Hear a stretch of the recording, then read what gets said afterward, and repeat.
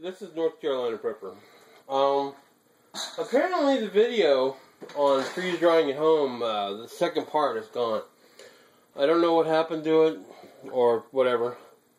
I'll remake it later, but um, for right now, this is kind of what's left of them that I have in storage. So let me show you. When you dehydrate things, when you dehydrate things, they um they get um you know well they're dehydrated. But these are. Let me get this up where we can hear it. Listen. See that? These are actually frozen or uh, yummy. Let me see if I can zoom in on that.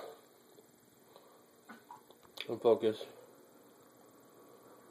Mm, doesn't look like it's focusing. But I want you to see that it actually has a cell structure in it. You know, they're pretty thick too. So, I want you guys to see the difference. That's actually holding the cell structure. So, there you go. I just want to show you guys that real quick.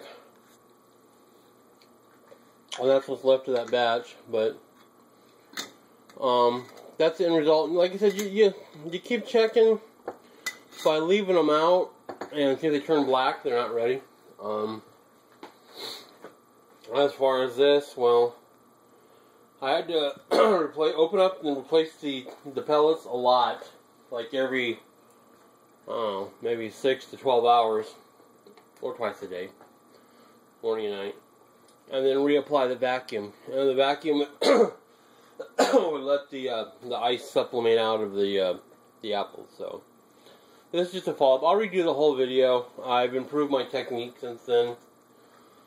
So I'll redo it here next couple weeks when I get some time. but uh, I just want to show you this is them so far, they're they're crisp. And instead of like leathery, like they've been dehydrated. So there you go. That's just a quick update on that, and uh, part two, which I'll label as part two, but still. All right, please rate, subscribe, have a great day. Thanks. Have a great weekend, actually.